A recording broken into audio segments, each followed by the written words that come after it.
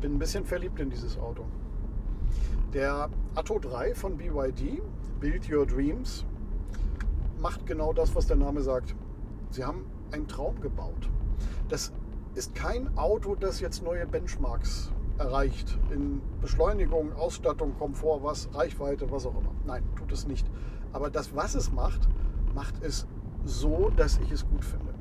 Ich kann mit dem Wagen hier, bin jetzt zehn Tage unterwegs gewesen, der macht, macht ein vollkommen sicheres Gefühl.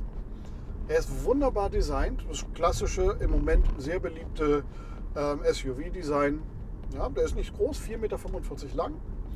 Und äh, auf diesem 4,45 Meter bietet er wirklich eine Menge Platz. Also das ist wirklich überraschend, weil das ist jetzt nicht so ein großes Auto, aber es bietet eine Menge Platz und viel Luftigkeit, das ich sehr, sehr genossen habe. Ich bin sehr angetan von diesem Wagen, weil Verarbeitung ist prima, die Ausstattung ist super, er hat alles, was man heute so braucht und was die EU vorschreibt. Und ich bin ja nicht so unbedingt so ein Fan von diesen ganzen Abstandsregel- und Seitenverlassensspur-Warnungskram. Bin ich ja nicht so ein Fan davon, aber die EU ist der Meinung, sie muss halt eben äh, die Sicherheit im Autofahrenbereich steigern, was ja auch gut ist. Aber äh, es ist ja doch oft, oft so, dass die Dinge einfach nur nerven, weil sie dauernd irgendwo piepen und warnen und rütteln und ins Lenkrad eingreifen, wo de facto eigentlich gar keine weitere Gefahr zu sehen ist. Ähm, das kann man hier alles wunderbar einstellen und das gefällt mir sehr, sehr gut. Dass man hier sagen kann, na komm, melde dich, wenn du meinst, ich bin hier irgendwo in Gefahr oder ich gefährde andere, aber mach's bitte leise oder äh, vibrier nur am Lenkrad, sowas in der Art. Das, das macht er hier wunderbar. Das kann ich alles einstellen, hat mir sehr, sehr gefallen. Ich kann, ich mache mal hier kurz weg, und dann. Äh, ich kann also alles einstellen, er hat alles drin. Er hat ein paar lustige und verspielte äh, Details, wie zum Beispiel, gefällt mir großartig, der Türöffner ist gleichzeitig auch der Hochtonlautsprecher hier. Ähm, kommt man nicht sofort drauf, aber ist eine wirklich coole Idee, weil auch der Lautsprecher auf Ohrenhöhe ist und dann entsprechende Höhenwiedergabe äh, direkt ans Ohr ermöglicht. Ähm, muss man erstmal finden, ist aber an sich, finde ich, eine coole Idee. Man hat hier in den Seitenfächern, die sind mit so kleinen ähm, Bändern bespannt. Äh, da kann man echt Gitarre spielen. Also ein bisschen Bass vielleicht. Aber man kann tatsächlich, wenn man ein bisschen Langeweile hat, kann man hier mit den Seiten spielen. Ähm, lustig. Man kann den Bildschirm hier drehen. Ähm, unterhaltsam, der praktische Nutzen, naja, der Autoverkäufer sagte mir, ja, wenn du mit dem Navi unterwegs bist, kannst du mehr nach vorne gucken. Hat er recht. Ähm, ob ich das jetzt wirklich so brauche, weiß ich nicht. Ich mag die Einstellung quer eigentlich am liebsten, aber es ist eine Geschmacksfrage. Es ist ein äh, lustiges, interessantes Gimmick, was, was äh, BYD sich hier hat einfallen lassen, finde ich gut. So, ähm, er ist sehr leise. Er ist wirklich sehr leise. Ja, das äh, ist wirklich überraschend. Also ich habe eine Menge E-Autos gefahren in den letzten Monaten, die alle irgendwo entweder sehr sportliche Einstellungen haben oder einfach klappern und knarzen. Habe ich hier nicht. Ich bin mit dem über Kopfsteinpflaster gefahren, ich bin mit dem über offenen Schotter gefahren. Ähm, das funktioniert tadellos. Ist, man merkt, okay, hier ist unebene, unebener Untergrund, aber der filtert das raus. Und das ist, wir reden hier von einem Auto in der 40.000 Euro Klasse. Ähm, teilweise gibt es Angebote darunter. Das ist sehr gut, sehr, sehr gut gefällt mir das. Also ich habe hier ein absolut ruhiges Fahrgefühl. Man hört nur dieses elektronische, naja, da können wir drüber streiten, ob das schön ist, dieses Geräusch, das die Autos nun mal machen müssen. Ähm, da würde ich mir vielleicht mal wünschen, dass man selber was einspielen kann. Ähm, aber gefällt mir jetzt nicht so, muss aber sein. Aber das ist das Einzige, was man hier hört. Und so ein paar Fahrbahngeräusche, halt eben, wenn man jetzt, wie jetzt gerade eben, so ein bisschen über den Gullideckel fährt. Gehört auch dazu. Ähm, er hat eine Wärmepumpe, was sich natürlich im Winter sicherlich auch äh, sehr gut bemerkbar machen wird, was die Reichweite anbetrifft. Ähm, das ist also schon mal gut und die Lüftung hier ist auch sehr, sehr leise. Verspieltes Design hatte ich schon gesagt. Äh, was mir sehr gut gefallen hat, ist zum Beispiel, dass hier Spotify in dem Betriebssystem schon mal vorinstalliert ist. Man verbindet sich einfach nur mit seinem ähm, Account und schon hört man einfach einen eigenen Icon hier drauf und dann kann man einfach Spotify starten. Das geht dann auch beim nächsten Mal, wenn man den er startet, also dann Spotify beim nächsten Mal, wenn man wieder einsteigt von alleine. Ähm, tadellos, finde ich super. Ähm, Updates over the air hat er. Also das, er hat auch jetzt bei mir hier gerade, als ich, während ich ihn hatte, äh, über Nacht ein sehr großes Update geladen. Ich hatte schon die Hoffnung gehabt, dass er das Betriebssystem auf deutsche Sprache umstellt.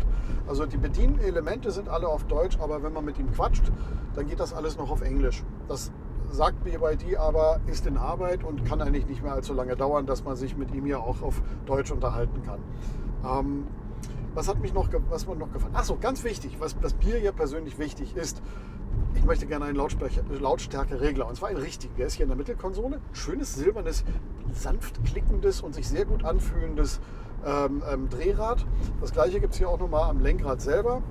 Und das gefällt mir sehr, sehr gut, weil es äh, sehr, sehr schnell funktioniert und auch sehr genau reagiert auf den Wunsch, den ich habe. Ich möchte es nämlich leiser oder lauter und nicht erstmal nochmal drücken oder schieben oder ähnliches, sondern es funktioniert einfach. Es ist die perfekte Lösung. Ich brauche keine Touch-Tasten oder ähnliches.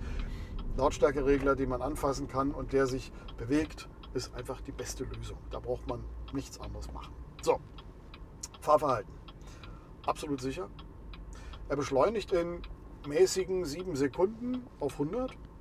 Ja, ist ordentlicher Wert. Ich glaube, so ziemlich 90 Prozent aller, aller Verbrenner beschleunigen auch nicht schneller.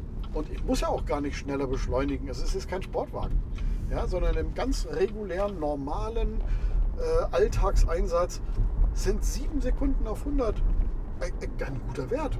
Das ist kein schlechter Wert. Ja? Natürlich bieten Elektrofahrzeuge auch monströse Beschleunigungsorgien, aber das finde ich ehrlich gesagt jetzt nicht so wichtig. Nicht so wichtig. Kommt bei mir sehr selten vor. Ich lebe in einer Stadt mit 4 Millionen Verrückten. Da muss ich nicht äh, in drei Sekunden auf 100 beschleunigen. Brauche ich nicht. Da sind eher gute Bremsen wichtig und die bietet er. Die bietet er. Ich kann hier sehr, sehr gut bremsen. Äh, ich habe ein sehr, sehr gutes Lenkgefühl. Das Lenkrad zappelt nicht, es ruckelt nicht und äh, es gibt mir eine wirklich gute Rückmeldung von der Fahrbahnbeschaffenheit. Habe zu keiner Zeit mich hier in irgendeiner Art und Weise unsicher gefühlt und das Auto macht genau das, was ich möchte und es reagiert äh, in genau der von mir gewünschten Art und Weise. Äh, was haben wir noch? Ein Problem. Also Problem ist es nicht wirklich, aber das Auto ist zwar, was den Platz und das Kofferraumvolumen und äh, die Ausstattung anbetrifft, ein Auto, das man auch auf längeren Strecken fahren möchte und kann, reicht vollkommen, ist ein super Auto, aber es hat eine sehr mäßige Ladegeschwindigkeit. Ja, also ähm, BYD gibt es netterweise. Entschuldige, Sorry, ich try me again. hab, dich, hab dich nicht gemeint. Ähm, es gibt auf der Webseite netterweise die Ladegeschwindigkeit von 30 bis 80 Prozent ähm, mit that? einer halben Stunde an. Sorry, I'm not sure what you mean. Das ist okay. Ähm, 30 bis 80 Prozent braucht er eine halbe Stunde. Ähm, bei 30 Prozent, ehrlich gesagt, lade ich das Auto noch nicht, sondern eher, wenn er unter 20 Prozent ist. Und da muss man schon tatsächlich, um eine Akkuladung bis 80 Prozent zu erreichen, braucht man tatsächlich eine Dreiviertelstunde. Das ist üppig. Das ist üppig. Das ist nicht wirklich schlecht, aber da macht das Gros der ähm, Mitbewerber doch schon deutlich bessere Ladezeiten möglich. Ich gehe davon aus, BYD ist sich dieses Problems bewusst, kann es vielleicht jetzt noch nicht lösen, aber arbeitet mit Sicherheit daran, dass es in Zukunft dann mal äh, von 10 auf 80 Prozent in weniger als 30 Minuten geht, weil das wäre nämlich sinnvoll. Ähm, was haben wir hier noch? Das Auto. Mein Gesamteindruck ist ein sehr guter. Ich bin das erste Mal von einem Elektroauto wirklich überzeugt, weil das Gesamtpaket, er erreicht keine neuen Benchmarks, aber das Gesamtpaket, die Summe der Teile, die dieses Auto hier bietet, die Materialqualität, die Ausstattung, die Fahrqualität, das Platzangebot, das ist für diesen Preis sensationell. Das ist wirklich sensationell. Ich habe mich selten in einem E-Auto so wohl gefühlt. Ja, ich bin ein bisschen zu schnell. Das ist ein kleines Problem, weil hier darf ich nämlich 80 fahren, aber es gibt ein Schild, das sagt halt eben ab 22 Uhr bitte nur 60. Und ähm, ja, das ist halt eben, das erkennt er noch nicht so richtig, dass da eine Unterscheidung ist. Anyway, das machen viele andere auch so. Was, was mir hier noch äh, aufgefallen ist, das hat mir nämlich der Verkäufer hier gesagt, ich bekomme hier nichts dafür. Ja? Also ich verdiene hier kein Geld damit und ich bekomme keine Provision oder ähnliches. BYD hat mir das Fahrzeug netterweise kostenlos hier zur Verfügung gestellt. Aber wenn man auf die Webseite von BYD geht, dann sieht man ein Leasingangebot zu diesem Fahrzeug. Und das hat es in sich, weil es gibt ein Leasingangebot. Man kann diesen Wagen, so wie er jetzt hier steht, für 199 Euro monatlich fahren. Und zwar 5000 Kilometer im Jahr. Und wenn man 10.000 Kilometer fahren will, dann kostet es 230 Euro. Es gibt eine Anzahlung von, ich glaube, roundabout 4.500 Euro.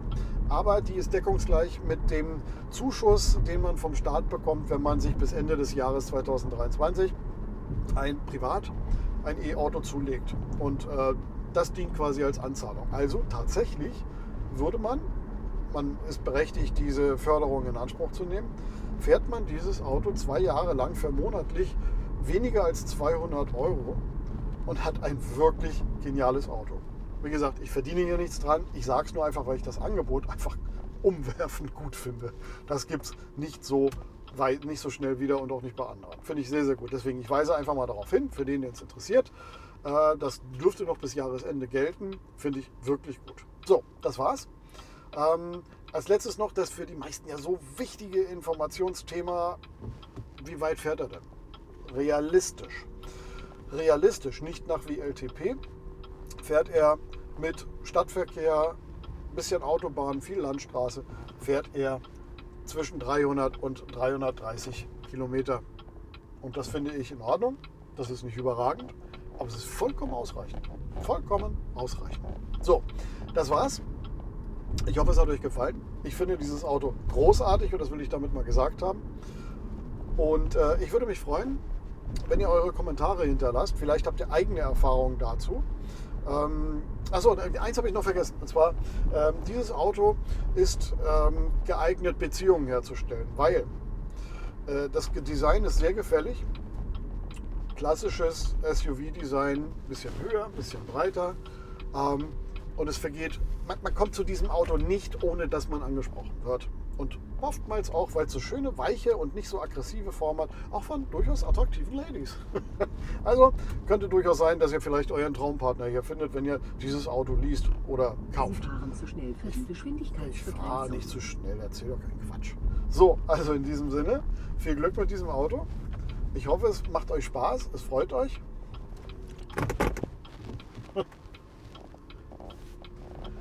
Und bis zum nächsten Mal.